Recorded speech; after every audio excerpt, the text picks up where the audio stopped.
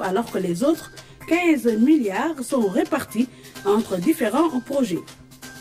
Désinfection des rues de Dakar, le service national de l'hygiène sort les gros moyens. Plus d'une dizaine de véhicules utilitaires et des machines fumigènes sont mobilisés pour éradiquer le virus. Les opérations devront se mener dans toutes les régions du pays. Mesdames et messieurs, bonjour et bienvenue. Un sommet extraordinaire de l'Union africaine en visioconférence se déroule en ce moment même en, présence du président de la République. Macky Sall qui intervient en direct de Dakar au Palais de la République. Les chefs d'État du continent se réunissent pour une action commune en vue de combattre le Covid-19. Le président de la République, Macky Sall, porteur de l'initiative qui prône l'annulation de la dette africaine, est en première ligne de ce combat.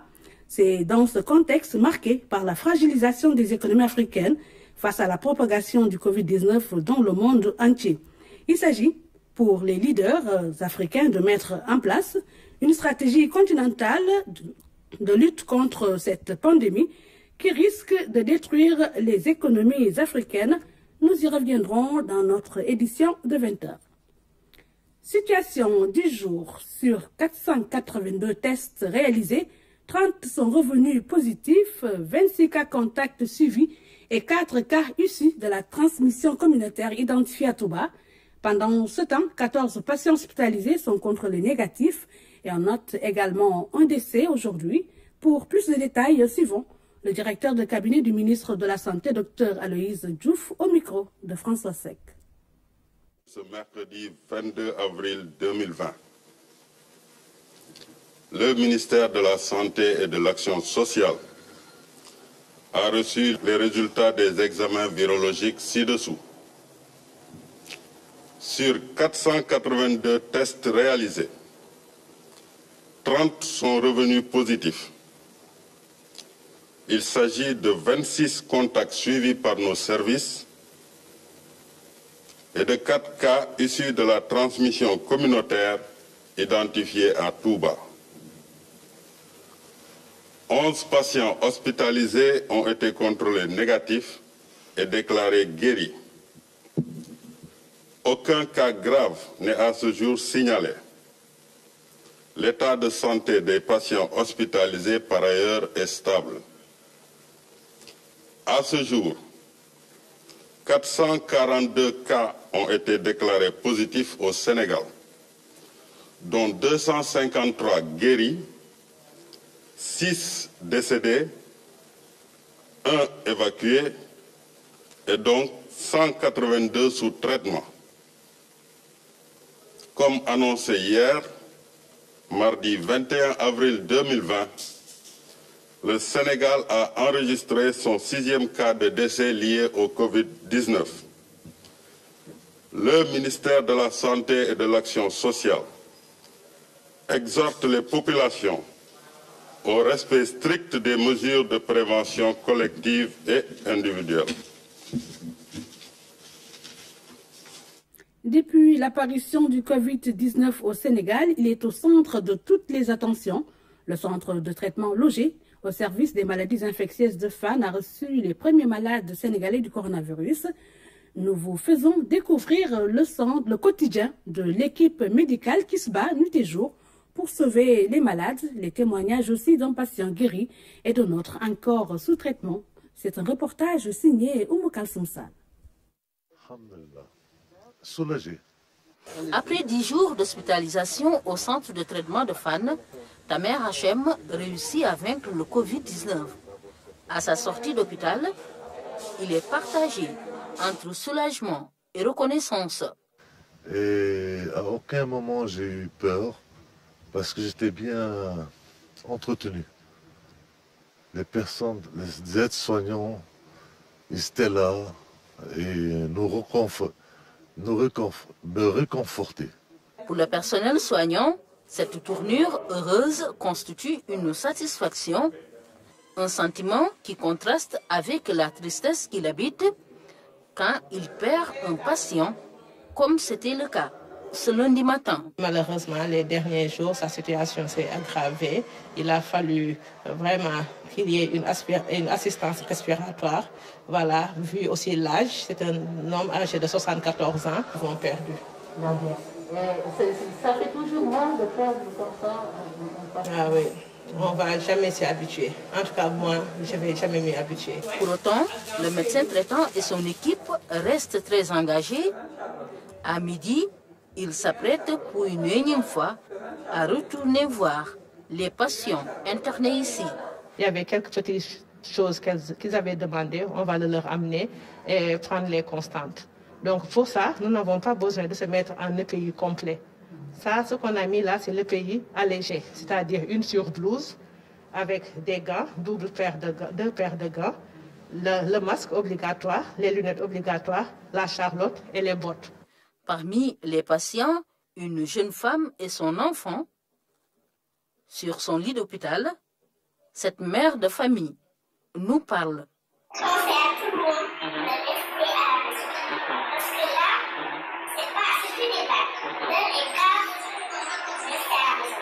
Après une trentaine de minutes, l'équipe médicale sort. Et là aussi, toutes les précautions sont respectées pour éviter tout risque. Ils sont stables. En, dans, en général, les malades qui sont ici pour aujourd'hui sont stables. C'est bon. Et puis, en général, dès qu'on reçoit un malade, son numéro, s'il a un téléphone, son numéro est donné à une cellule de prise en charge psychologique qui se trouve à, au ministère de la Santé. Le service des maladies infectieuses de FAN est le centre de référence dans la prise en charge du Covid-19. Les équipes médicales restent en alerte. H24. On a une équipe, on a une équipe, des équipes euh, euh, qui tournent. Il y a une équipe d'infirmières et une, équipe de médecins, équipe médicale et paramédicale, accompagnée des hygiénistes qui sont indispensables dans la prise en charge parce que c'est eux qui se chargent de la décontamination et du matériel et du, du personnel, des habits et tout. Mais aussi, il y a le bio-nettoiement. Ce sont des agents formés de la Croix-Rouge, des volontaires, qui nous accompagnent tous les jours et qui entrent trois fois par jour minimum pour faire le bio-nettoiement à l'intérieur. Sur le site, de nouvelles cabines sont en cours d'installation. Le centre de traitement, en plus de ses annexes, toujours dans le centre hospitalier national universitaire de Fan, dispose d'une quarantaine de lits avec cette extension, le Sénégal se prépare à toute éventualité. Près de 5 milliards de francs CFA, c'est la contribution de l'Union européenne à la riposte contre le Covid-19 au Sénégal. Sur ces 100 milliards, 85 seront versés au fonds Force Covid-19. La somme restante sera répartie entre différents projets objectifs faire face aux conséquences économiques et sociales de la pandémie. Reportage. C'est en pleine visioconférence de presse que l'ambassadrice de l'Union européenne a annoncé la contribution de l'UE à la riposte contre le Covid-19 au Sénégal, un don de près de 100 milliards de francs CFA. L'Union européenne au Sénégal propose un effort de mobilisation exceptionnel de l'ordre de 150 millions d'euros, soit près de 100 milliards de francs CFA sur les 1000 milliards du fonds annoncé, et ce en soutien du plan de réponse soit 130 millions d'euros en aide budgétaire directe et 20 millions en redéploiement de projets. Le tout en dons, bien sûr, non remboursables. Nous privilégions la modalité qui offrira au gouvernement la plus grande flexibilité et la plus grande rapidité d'action. C'est l'appui budgétaire, direct, au budget de l'État. 130 millions d'euros seront décaissés cette année, donc, en soutien au Fonds Force Covid-19. Ces dons pourront être associés en étroite coordination avec les autres partenaires, comme le FMI, la Banque mondiale, les banques européennes, la BEI, à des mesures d'appui pour la situation économique et à des aides sociales. Ils pourront aussi être utilisés pour lever d'autres financements. La répartition et l'utilisation de l'appui financier de l'Union européenne sont déjà déterminés. 85 milliards d'appui budgétaire en dons seront versés donc au fonds Force Covid-19, mais préciser également que les 20 millions d'euros qui restent, comme c'est dans le cadre de projets qu'on va euh, recibler pour atténuer les impacts du Covid-19, on pourra les comptabiliser en dehors du fonds pour en fait maximiser les ressources donc disponibles pour atteindre les populations. Donc ce sont les 85 qu'on verse au fond et les autres 20 sont réorientés dans le cadre de projets déjà existants mais qui vont impacter positivement les populations et les soulager des effets donc, du Covid-19. Par ce don de 100 milliards de francs CFA, l'Union européenne soutient l'État du Sénégal dans sa politique de préservation de l'activité économique et de protection des personnes vulnérables en pleine pandémie. 20 millions francs CFA, c'est la somme mobilisée par les forces armées pour combattre le Covid-19. Le chef d'état-major général des armées et le haut commandant de la gendarmerie ont remis un chèque. À cet effet, ont remis cet effort de guerre au ministre des Forces armées. Reportage de Philippe Sagna. Deux chèques de 10 millions chacun réunis et remis pour la même cause, le combat contre un ennemi invisible qui perturbe la quiétude. Je puis vous réitérer ici, Monsieur le ministre, l'engagement des forces armées à continuer sur cet élan pour faire de sorte à ce que ces personnels, ses moyens, mais également son énergie, son expertise et son expérience puissent être mobilisés de manière à continuer à contribuer à la riposte nationale contre le Covid-19. Pour la tutelle, c'est le lieu de magnifier cet écho favorable à l'appel du chef de l'État. Depuis le début de cette pandémie au Sénégal, les forces armées jouent leur partition. L'hôpital militaire qui a été installé en un temps record à Touba a eu un effet très important. Aujourd'hui, l'hôpital principal joue sa partition avec euh, plus de 100 militaires, médecins militaires, cet hôpital accueille à la fois des Sénégalais qui ont tous les mots que l'on peut connaître, mais participer à leurs soins, à leur guérison. Cela est très important et en même temps aussi à recevoir les personnes qui sont victimes du Covid-19. Il en est de même de l'hôpital militaire de Wakam, dont la montée en puissance va permettre alors euh, la possibilité de faire des tests. Cette cérémonie a permis de saluer la nomination du général François Ndiaye à la tête du comité de suivi de la mise en œuvre des opérations du force Covid-19. La confiance que le peuple sénégalais a vis-à-vis -vis de son armée se manifeste parce qu'elle a une crédibilité. C'est à, à, ce titre que le président de la République, Macky Sall, a été amené à choisir le général François Ndiaye c'est un signe de reconnaissance de l'expertise de l'armée, de sa crédibilité et aussi de l'action permanente qu'elle joue à la fois dans les terres de combat, mais également aussi dans le domaine civil. Maître Sidiki Kaba s'est également réjoui de l'engagement des forces armées dans la préservation de leur personnel, la sécurisation des frontières et la protection des populations contre ce virus aux effets dévastateurs. Reportage signé Louis Philippe Sagnan. En cette période où le Covid-19 sévit dans notre pays, l'armée sénégalaise est mobilisée dans la lutte à Kaolack.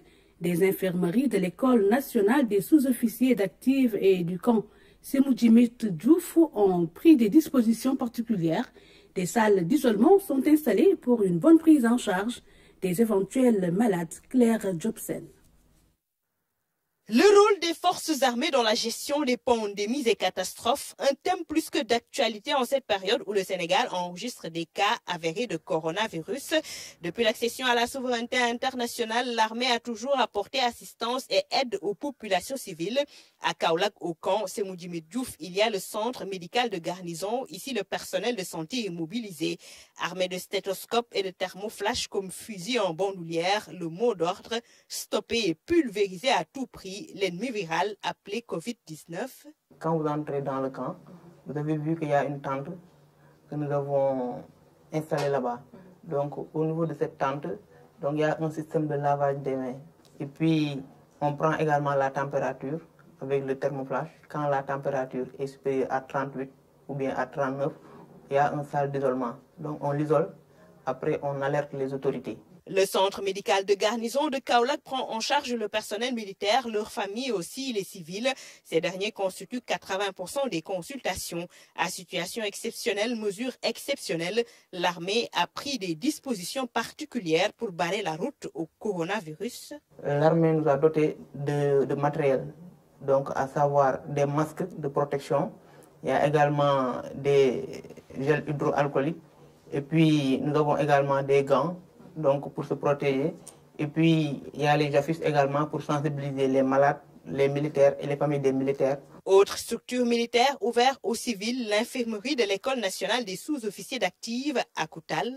Quand nous avons eu l'autorisation de prendre en charge les civils, nous avons fait le tour des villages pour rencontrer les notables, les imams et les responsables de quartier. Une décision qui a vraiment été bien saluée par les populations et ils ont commencé à venir et nous les prenons en charge. Ici aussi, un travail de sensibilisation est fait. Nous avons commencé la prévention, la sensibilisation bien avant même qu'on ait un cas au Sénégal. Ça a commencé par la sensibilisation des cadres lors des réunions hebdomadaires que nous tenons tous les vendredis. Nous avons commencé à former d'abord le personnel médical, à former le personnel médical et à les sensibiliser par rapport à ce qui se passe au niveau mondial.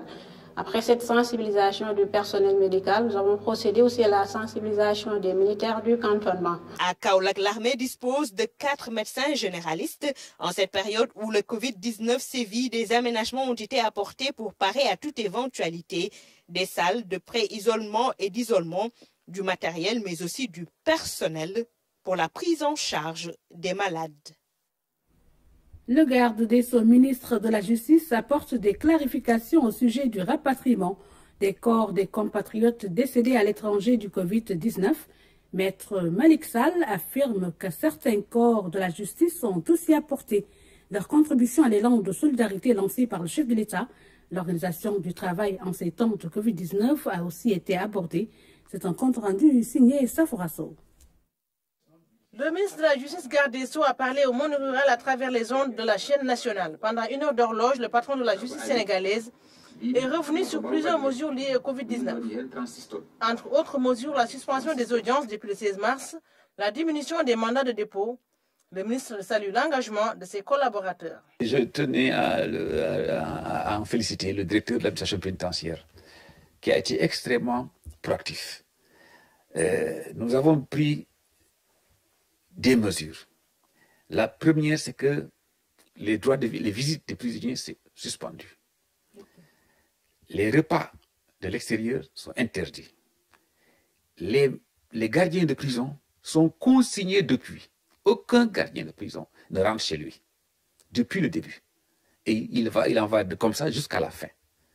Et nous avons décidé également que, parce que si cette maladie ne peut rentrer de la prison que de l'extérieur, pour éviter cela, les nouveaux, les personnes qu'on a mis sous mandat de dépôt, on a décidé de transformer le Cap Manuel en lieu de transit. D'ailleurs, une nouvelle maison d'arrêt et de correction est installée à Sébikotan. Sur la question des rapatriements des corps, le garde des Sceaux apporte quelques éclaircissements. Cette décision est une recommandation de l'OMS, l'Organisation mondiale de la santé, parce qu'on s'est rendu compte que cette maladie, elle est, elle est très contagieuse. Donc, et que même le cadavre reste contagieux. C'est un peu comme Ebola. Ce qui fait qu'on a demandé pour la sécurité nationale que les gens qui sont décédés de ça, ils, soient enterrés là où ils sont décédés. Et le, président Macky Sall, il sait qu'effectivement c'est quelque chose de douloureux. C'est douloureux. Et c'est pour ça que euh, les engagements ont été pris pour que euh, l'État prenne en charge les frais d'inhumation, que ce soit à Paris ou ailleurs dans le monde. L'élan de solidarité lancé par le chef de l'État est bien suivi par le ministre de la Justice garde des Sceaux ainsi que l'ensemble des responsables de la région de Matam. Plusieurs tonnes de riz et des produits comme des gels antiseptiques et des masques ont été offerts aux populations dès l'apparition de la pandémie. L'université Charanta Diop de Dakar s'adapte à la situation de pandémie. L'Institut a densifié son réseau de cours en ligne pour rester dans la dynamique. Ducat a beaucoup investi dans les infrastructures technologiques pour maintenir le cap face au Covid-19. Youssouf Kaba. Face au Covid-19, l'Université Charanta Diop de Dakar a adopté des mesures nouvelles. L'objectif est de maintenir la continuité des cours. Le comité pédagogique s'y attelle jour et nuit. La direction est en train d'accompagner l'ensemble des équipes pédagogiques dans la mise en œuvre des ressources pédagogiques en ligne. Et comme le Dizi l'a dit tout à l'heure, nous avons un ensemble de plateformes et nous communiquons avec l'ensemble des équipes pédagogiques, avec les assesseurs, les directeurs de culte, pour mettre en ligne ces ressources, pour permettre à nos étudiants qui sont dispersés un peu partout au Sénégal d'avoir accès à ces ressources via nos 18 plateformes que nous avons, que nous avons autour de l'ensemble des établissements et qui pourront permettre à l'étudiant, une fois connecté, d'avoir accès aux ressources à temps réel et, et de pouvoir étudier comme s'il était en présentiel. Une plateforme technique est mise en place afin d'assurer l'interactivité des étudiants et des enseignants. Ils cherchent ainsi à gagner du temps lorsque tout rentrera dans l'ordre et que le personnel se retrouve en contact physique. Aujourd'hui, euh, nous avons des plateformes d'enseignement à distance pour chaque faculté. Nous avons mis en place des outils de collaboration et de présentation à distance. Et nous avons aussi en fait mis en place euh, un dispositif d'accompagnement du personnel enseignant, que ce soit aussi du personnel technique dans les établissements, mais toujours à distance, pour les aider à mettre ces ressources que nous voulons mettre à, sur les plateformes d'enseignement à distance. Sur le plan médico-social également, les mêmes dispositions ont été mises en place. Ce centre prend en charge toute inquiétude du personnel de l'UCAT en direction du Covid-19. On avait initié que tout personnel administratif et technique de service ou tout personnel enseignant et de recherche qui présentait une fièvre ou n'importe quelle symptomatologie, il appelait, il venait, on lui mettait un masque, on le sécurisait, on l'examinait et s'il est suspect, on le mettait dans la chambre d'isolement que vous avez vu dans la salle d'isolement. Et on avertit la cellule d'alerte. Et on a eu déjà un cas, d'un cas suspect. On a averti la cellule. Ils sont venus faire le prélèvement. On a gardé ici la patiente jusqu'à l'arrivée des résultats qui, fort heureusement, étaient négatifs. Le calme plat à l'université Charanta Diop de Dakar contraste avec la réalité sur la disponibilité des cours. Toute la plateforme technique est en marche. Elle n'épargne aucune faculté, école ou institut universitaire. Les volets polytechniques des universités du Sénégal au service de la communauté pour faire face à la propagation du Covid-19 par la conception par la conception de respirateurs artificiels pour les malades, la production du gel hydroalcoolique destiné aux populations, des initiatives pour l'État dans sa croisade contre la pandémie. Ousmane. De l'avis de beaucoup d'experts, le bénévolat formel et l'appui direct des étudiants dans la communauté sénégalaise est fréquent et variable. Surtout en ces temps de pandémie, il y a cette montée considérable d'initiatives et d'innovations soutenues par un désir de ces étudiants-là de susciter un rapprochement avec les populations en toute solidarité pour faire face au Covid-19. Puis le début de la pandémie, malgré que les écoles, en tout cas l'université est fermée, mais ils sont tous les jours là, dans les ateliers, dans les laboratoires, travaillent d'arrache-pied pour effectivement envoyer, envoyer leur contribution donc, aux, autorités, au niveau des autorités. Alors, le de Dakar Plateau reçoit pas moins de 40 000 véhicules par jour, chaque matin, entre 6h, 5h du matin et 6h, 7h. Et 3 millions de personnes qui viennent toujours au plateau le matin et qui retournent le soir.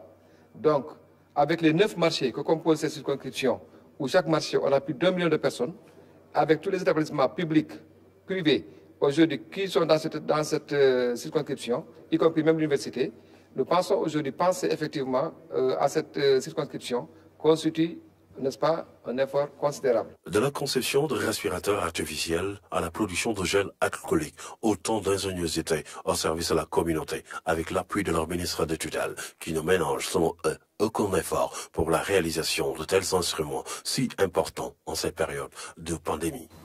C'est pourquoi au nom du ministre de l'Enseignement supérieur, de la Recherche et de l'Innovation, Cheikh Oumaran Empêché, je tiens à saluer l'initiative, à réaffirmer la volonté du ministère d'appuyer de pareils initiatives pour que ce prototype soit développé, soit produit en quantité industrielle pour que la majorité de nos populations, et nous souhaitons que cette majorité se rétrécisse avec l'éviction de cette entreprise, puisse en bénéficier.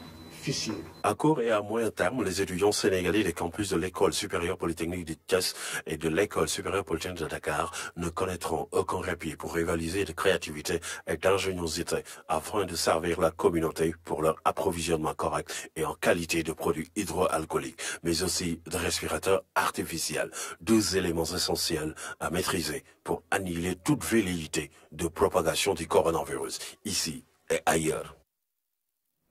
À ce jour, plus de 160 000 bénéficiaires de bourses familiales ont reçu leurs allocations.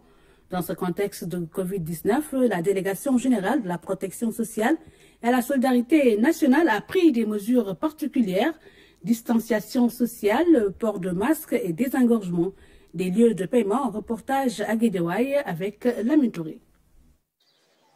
Port de masque et distanciation préventive contre le Covid-19. À Guédiouaï, les bénéficiaires de la bourse sociale se conforment.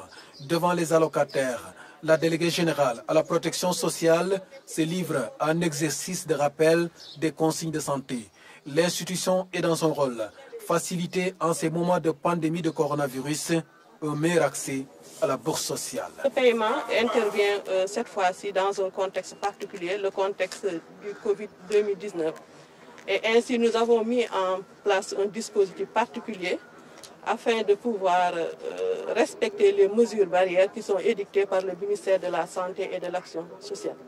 Aujourd'hui, je suis venu visiter le bureau de poste de Guédiawaye pour m'assurer que le dispositif est effectif et que les mesures barrières qui sont édictées sont respectées au niveau du bureau. Ici, les appels se font par lot de 50 personnes et c'est en rapport avec l'institution financière La Poste. Un travail méthodique jusqu'à la perception. Il fallait une communication, communiquer avec les populations, mais aussi tenir compte des capacités de paiement des bureaux et aussi tenir compte des contraintes horaires. Parce qu'il faut dire qu'avec le couvre-feu, il y a eu des changements. Donc, euh, à partir de là, nous avons écrit, envoyé une note de service à tous les chefs de service, à tous les receveurs, pour leur demander d'être de, euh, en phase avec euh, l'événement qui est le Covid-19. Vous avez pu remarquer que nous sommes en train de, de, de, dérouler. Les bénéficiaires sont conscients des enjeux du moment. Ils apprécient l'organisation à chacun son tour au guichet.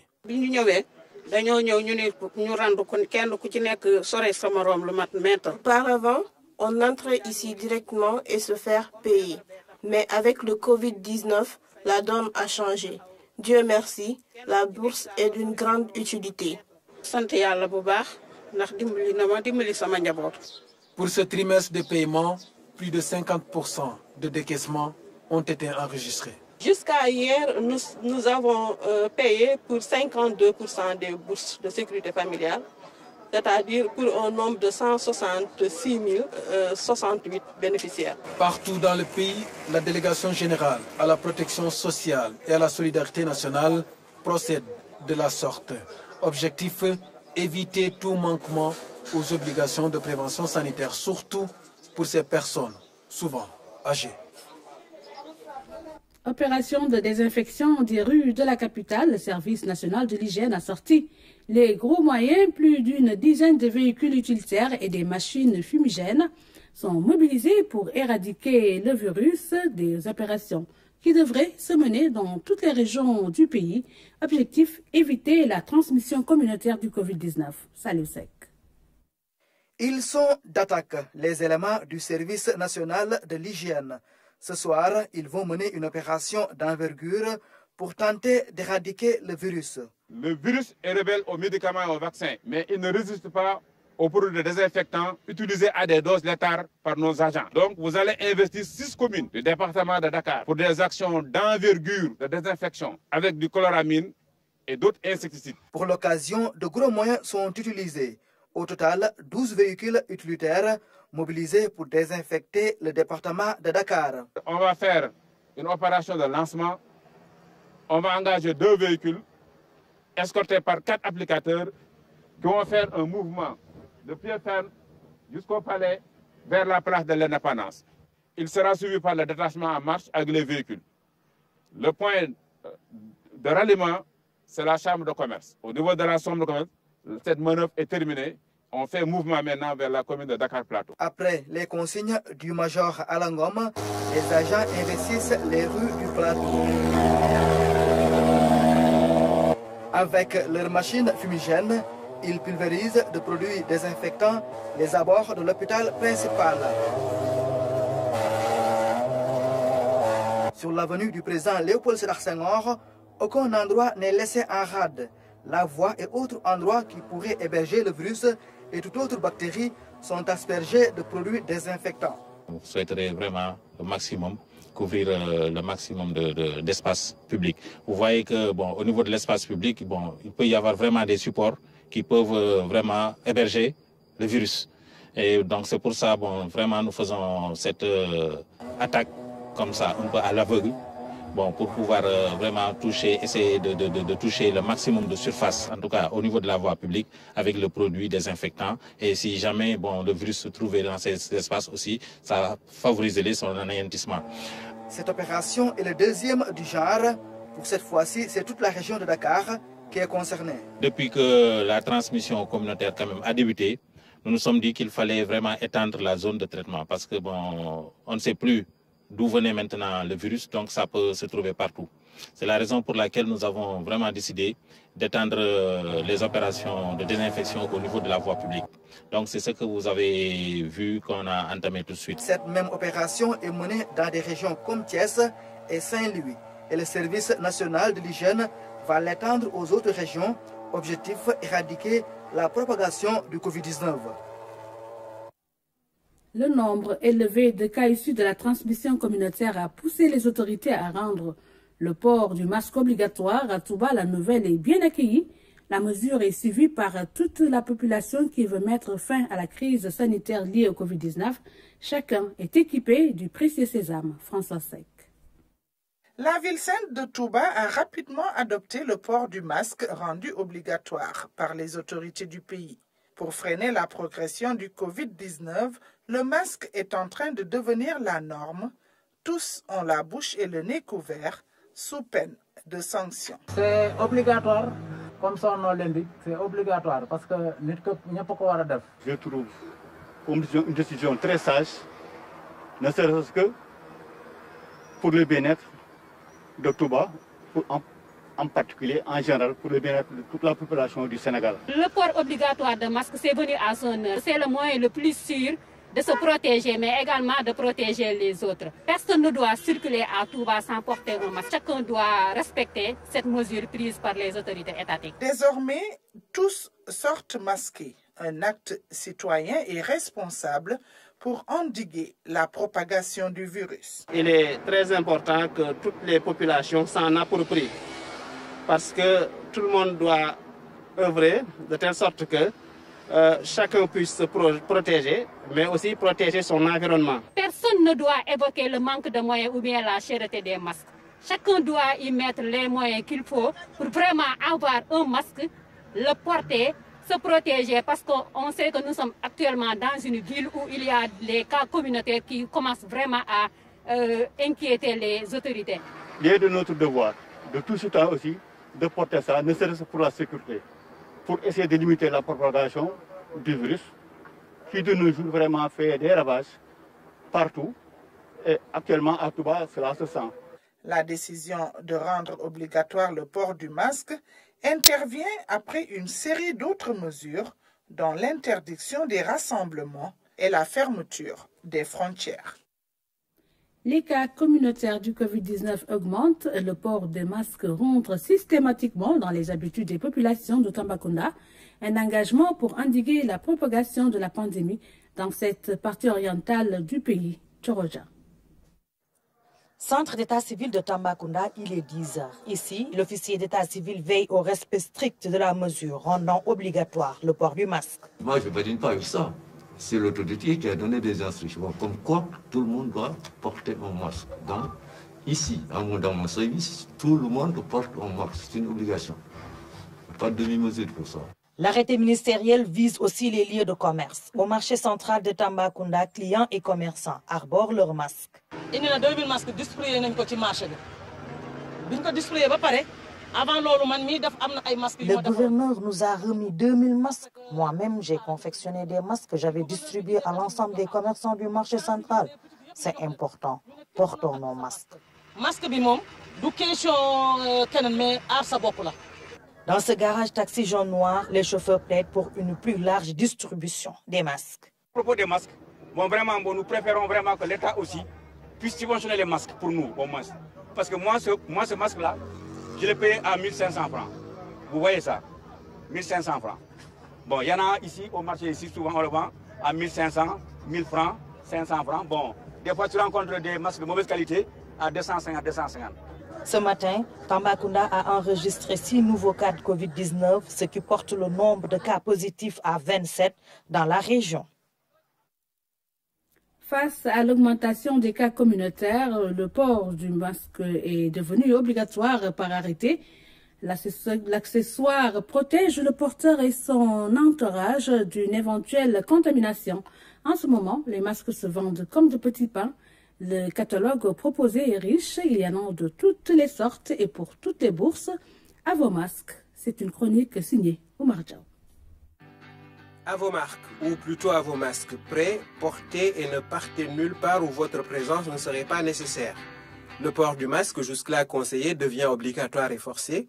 De toutes les mesures barrières, c'est sans doute celle qu'il faut privilégier compte tenu de ce que l'on sait pour le moment du mode de contamination.